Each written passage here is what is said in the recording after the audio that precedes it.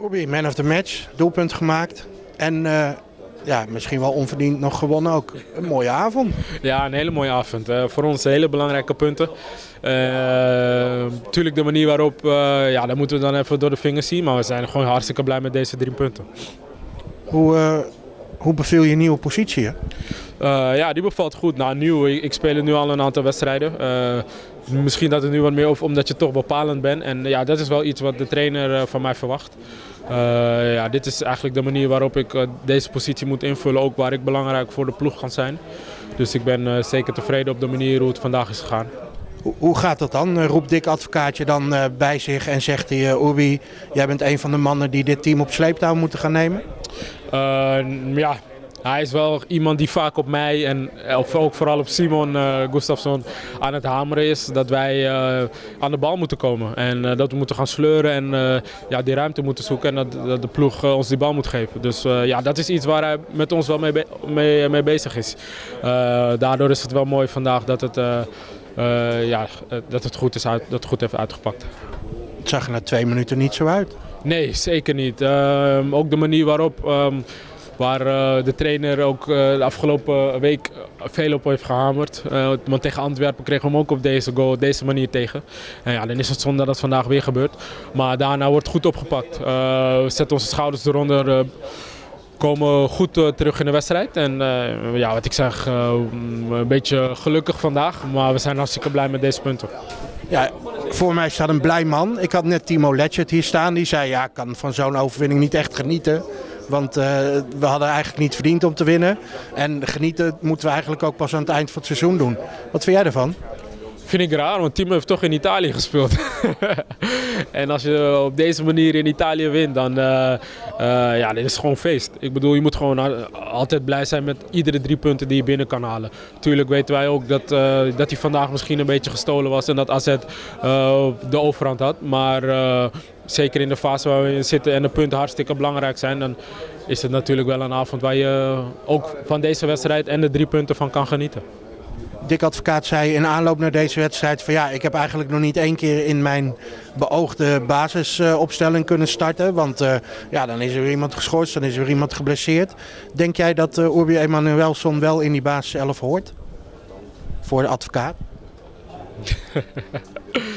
ja, dat, dat, hoop ik en dat denk ik wel. Uh, tuurlijk, het is nog zoekende. Ik, de trainers zijn natuurlijk nog wel zoekende van oké, wie gaat er in de spits? Of hoe, wie gaan er op de flanken? Hoe doet het achterin of op het middenveld?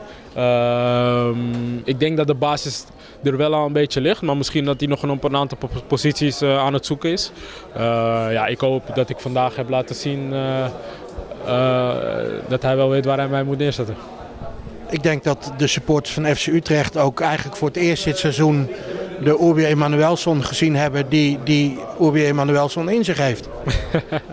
nou, ik moet zeggen dat ik ook daarvoor ook wel goede wedstrijden gespeeld heb hoor. Uh, maar wat ik zeg, je bent nu bepalend. En dan valt het misschien wat meer op.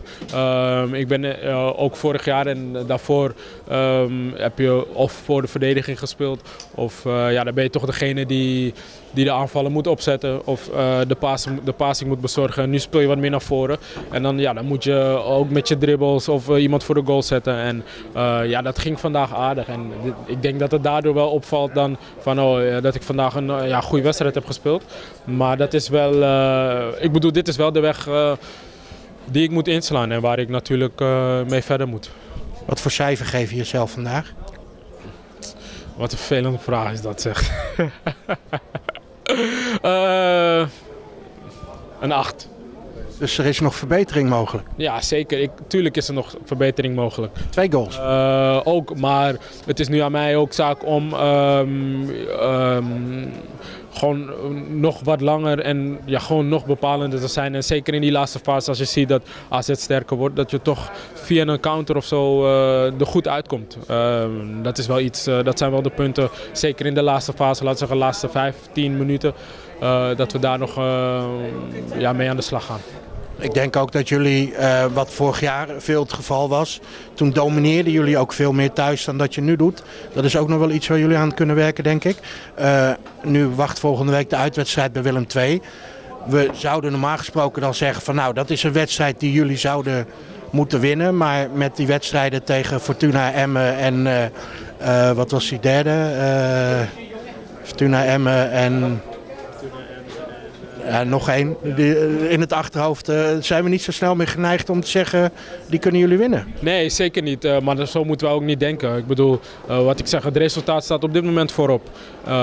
dat is het belangrijkste, om die drie punten binnen te halen. En natuurlijk willen wij ook weer het mooie voetbal laten zien, wat we ook vorig jaar hebben laten zien. Maar dat komt wel. op dit moment zijn de punten hartstikke belangrijk.